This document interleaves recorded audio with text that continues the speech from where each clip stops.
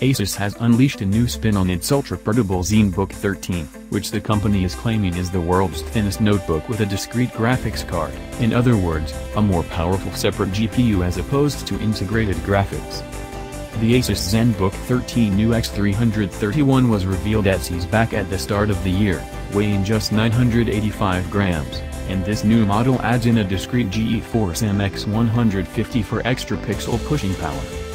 Naturally enough, this means it's slightly heftier, but still very trim at just 1.12 kilograms, with a thickness of 14 millimeters, meaning that it still easily qualifies as an ultrabook.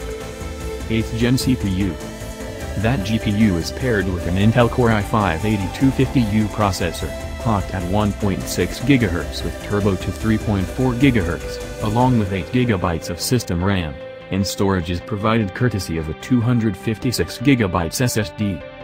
The laptop has a 13.3-inch display with a full HD resolution and an ultra-thin bezel. You also get a USB Type-C port, along with a pair of USB 3.0 connectors, an HDMI port, microSD card reader, and a full-size backlit keyboard.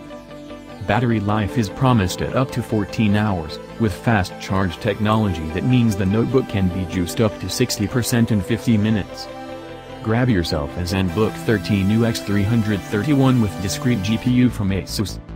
The new ZenBook 13 UX331, model UNWS51T, is now on sale in the US priced at $999, around 720 pounds, 1,270 Australian dollars. It's available in slate gray or royal blue color schemes.